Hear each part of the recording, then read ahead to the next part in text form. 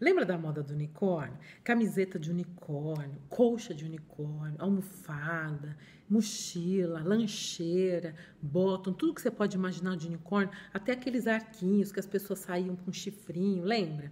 Então, você deve estar aí pensando, ah, vamos fazer um unicórnio bordado hoje. Não, a gente não vai fazer unicórnio nenhum. O que eu quero hoje é bordar um abacaxi. Assim como foi com unicórnio, em qualquer lugar que eu vou, eu encontro abacaxi. É estampa de abacaxi, acessório de abacaxi, os mais diversos produtos em abacaxi.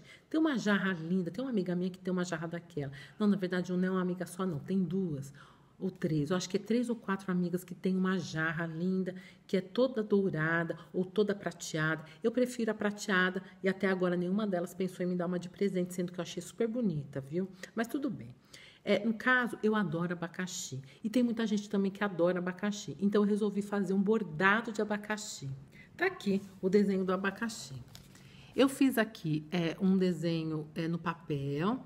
E aí, depois eu passei a caneta esferográfica para ficar mais fácil para tirar o risco. Só que aí eu fiquei pensando, ah, vai ter gente que vai querer bordar um abacaxi um pouco menor. Então, eu tirei a foto desse desenho aqui e fiz um arquivo que você vai poder baixar aqui do, no, no canal mesmo, tá no descritivo aqui desse vídeo, um link para você baixar. Esse mesmo abacaxi em três tamanhos diferentes. Esse aqui é o maior deles. E depois tem mais dois tamanhos menores. E aí você vai poder baixar para poder passar para o tecido e também fazer esse bordado de abacaxi. Eu vou bordar o abacaxi no tamanho médio, tá? Nesse daqui, que também, esse tamanho também tá aí disponível para você no mesmo link, para você fazer o download. E vou usar o algodão cru, vou passar o risco para o tecido. E aí, esse aqui já deixei cortado o algodão cru. Aqui é um tamanho, deixei aqui 24 por 24 centímetros, tá? Para fazer a casca do abacaxi, eu vou usar o ponto caseado. Na verdade, é uma variação do ponto caseado, chamado ponto botão. Na verdade, eu conheço ele como ponto botão, mas tem outros nomes também. Essa variação do ponto caseado você vai encontrar num vídeo aqui do canal, o ponto caseado 2, que eu vou também deixar a indicação aí para você. Depois, para fazer a crina do abacaxi, não, crina não, crina é de unicórnio. Para a gente fazer a coroa do abacaxi, eu ainda não sei que ponto que eu vou usar. Mas como o bordado é feeling, depois que eu fizer a casca, eu vou ver que tipo de ponto eu vou usar para fazer as folhas do abacaxi, a coroa do abacaxi. Então, agora eu vou passar o risco para o tecido e a gente vai começar a bordar.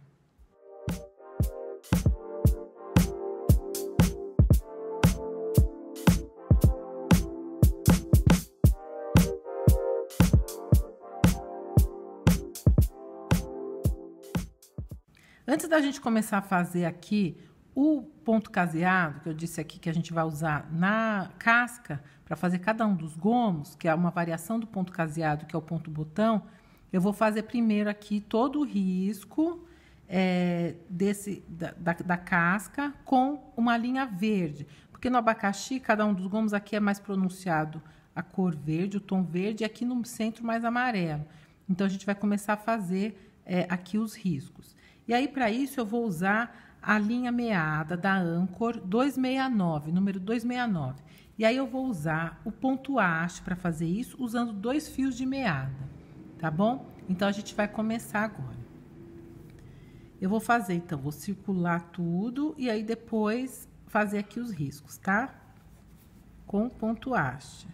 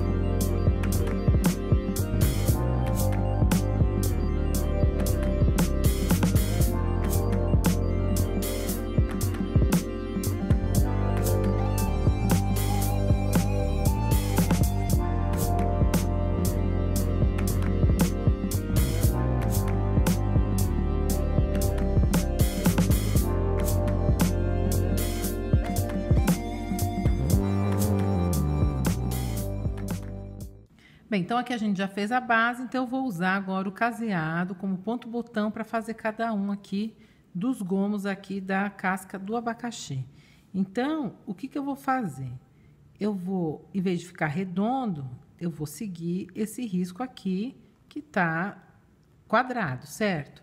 Eu vou fazer aqui no maior para vocês verem aqui como que eu vou começar. Vou começar aqui do canto, certo? Mas não invadindo, é pro lado de dentro do verde que a gente já fez, tá? E aí usar esse ponto aqui como apoio, que é o que a gente vai usar todo, é, toda a, a linha sempre vai ser aqui nesse furo aqui, ó, no mesmo furo, que esse aqui é o, o ponto botão.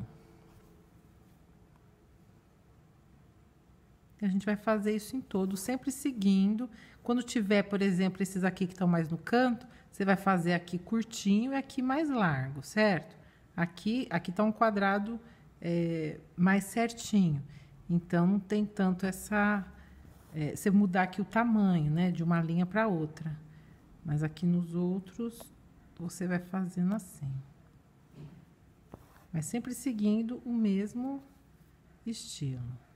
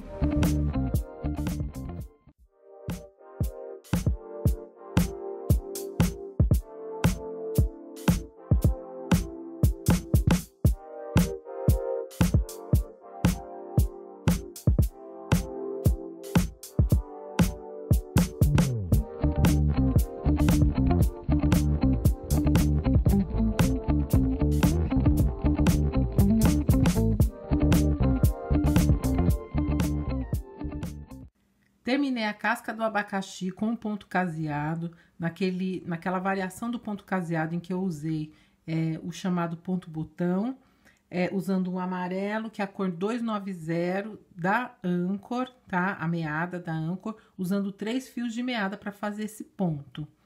E agora, a gente vai fazer aqui as folhas, a coroa do abacaxi.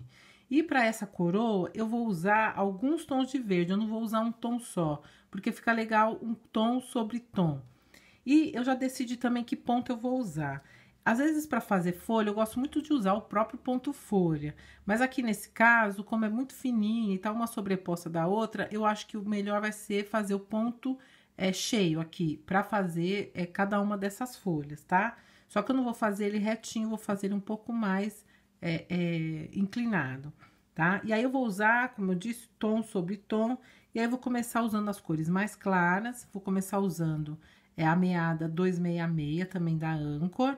Sempre, aqui eu vou usar sempre três fios de meada, tá? Assim como aqui nesse ponto. Aqui, é, para fazer o contorno, eu tinha usado só dois fios de meada da cor 269. E agora, eu vou começar com esses tons mais claros, vou usar essa, então, aqui a 266 no ponto cheio, para fazer a coroa, tá? E aí, depois, eu vou usar também é, a 267, tá? a 267, tem a 268, que é um tom abaixo da 269, que foi essa daqui que a gente fez o contorno, tá? Então, eu devo usar essas quatro cores é, para fazer aqui as folhas do abacaxi. Antes de começar a fazer o ponto cheio, eu vou primeiro, em cada folha que eu for fazer, eu vou ter que fazer o contorno com o ponto atrás. Tem gente que às vezes não usa, dependendo do desenho que se faz, não faz o contorno antes. Eu gosto de fazer o contorno antes, que eu acho que ele dá uma uniformidade melhor para o desenho e também depois você ter um ponto para poder fazer o arremate.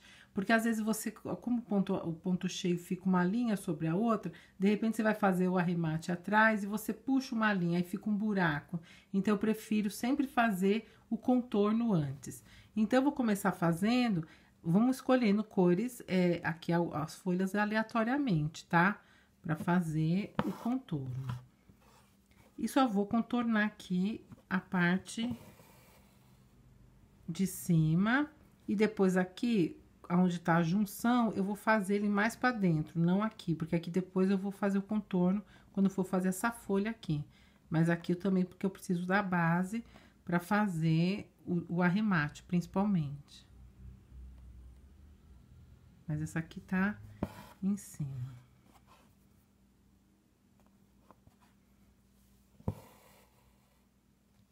Bem, então agora, para começar aqui o, o ponto cheio, eu vou começar aqui, eu sempre prefiro começar mais do meio para dar para depois eu sempre seguir o mesmo a, o mesmo a mesma linha, né? O mesmo traço assim, um atrás do outro.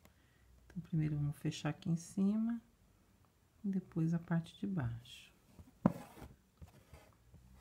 O ponto cheio, assim como o ponto atrás, você também encontra aqui como fazer no canal, tá? Vou deixar aqui as, as indicações do vídeo, as sugestões do vídeo, caso você é, queira aprender ou não tá muito lembrada o que é, qual é qual, né?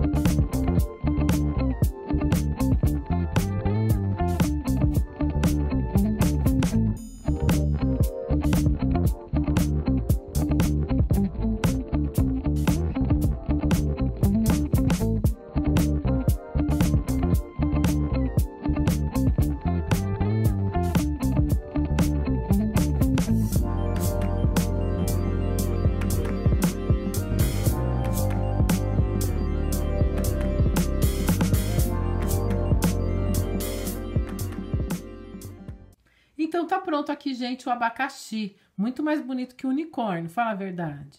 Aqui na coroa eu usei o ponto cheio, usei quatro cores aí, que eu também vou deixar no descritivo no canal certinho as cores para vocês. É, quatro tons de verde, é, o ponto cheio. Aqui eu usei na para fazer a casca, para fazer esse contorno aqui eu usei ponto haste. É, e para fazer aqui o amarelo, eu usei o ponto caseado naquela é, variação que eu tinha falado antes, que é o ponto é, botão também. E que tem um vídeo aqui como explica fazer esse ponto certinho no canal aqui. E aqui também coloquei ponto cheio, tá? Então é isso, gente. Se gostou do vídeo, deixa uma curtida, é, se inscreva no canal, divulga, compartilha e faça um abacaxi. O risco, como eu já falei também no começo, são três tamanhos diferentes. Você pode baixar o link aí para esse risco aqui no descritivo do vídeo. Até a próxima!